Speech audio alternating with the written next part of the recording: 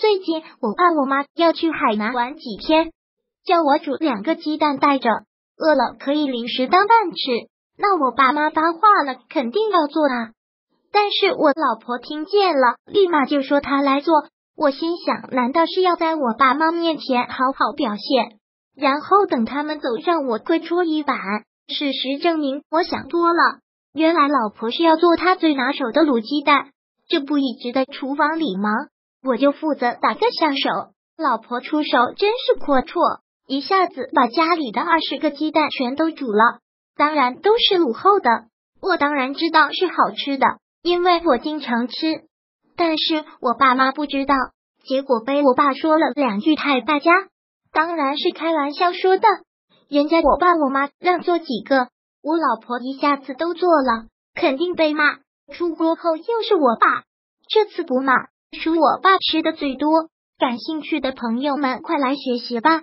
五香卤蛋，包心随意动。配料：鸡蛋十六个，精盐一勺，白糖一勺，生抽一勺，老抽一勺，料酒两勺，八角三个，桂皮一块，小葱一根，姜一块。蚝油一勺，烹饪步骤：一鸡蛋刷洗干净，二大料洗净备用。三锅中倒入清水，放入盐、生抽、蚝油、料酒、白糖，搅拌均匀。四放入鸡蛋，五放入大料，小火煮半小时，熄火浸泡一晚上即可食用。六看着就很有食欲。烹饪小贴士：中途要拿个勺子把鸡蛋壳敲破，更好入味。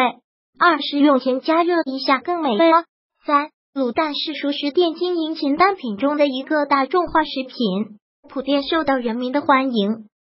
四但含有丰富的蛋白质、脂肪、维生素和铁、钙、钾等人体所需要的矿物质。